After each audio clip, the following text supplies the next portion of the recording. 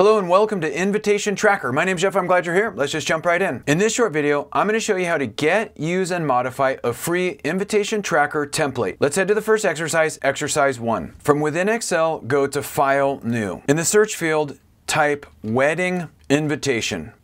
You can pick any of these you like. We're gonna go with this one. And click Create.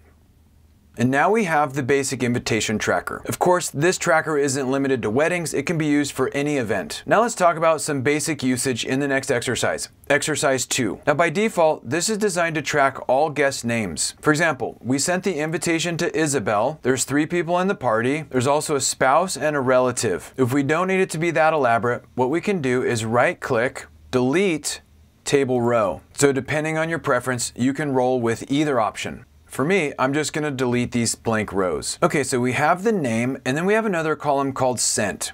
And we can toggle this between yes or no. The next column is RSVP, where we can select yes, no, or tentative. If we select yes, all three in the party will be included in the attending count. So currently that's 17. Let's change the RSVP to no. That dropped to 14, and not attending went up to 6. And if I switch this to tentative, not attending goes back down to three. And any that are blank goes into this outstanding total. Now the way my mind works is I would rather have yes, no, outstanding, and tentative as drop down choices. And I'd like these subtotals accordingly. So let's make that change really quickly. Let's select all of these, go to data validation, and our source is going to be yes, no, tentative, and outstanding. So for me, if I haven't heard back yet, they're going to be outstanding. If I have heard back, then I'll know if they've marked yes, no, or tentative. So now we just need to update these subtotals. So for outstanding, what we're going to do is we're going to go equals SUMIFS, and we want to add up this column of numbers, comma, but we only want to include those rows where this column, comma, is equal to outstanding.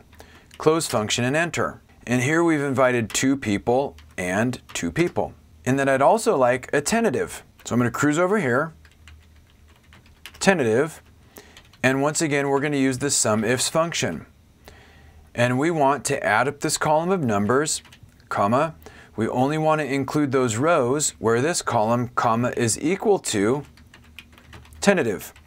Close function and enter. Now let's move to the next exercise where we'll talk about some additional formatting options. By the way, as you know, Excel is a big place and I'd love to help you learn more about it. I'll help you automate your manual recurring Excel tasks. I'd love to have you check out my training programs. Use the link in the description to learn more. Exercise 3.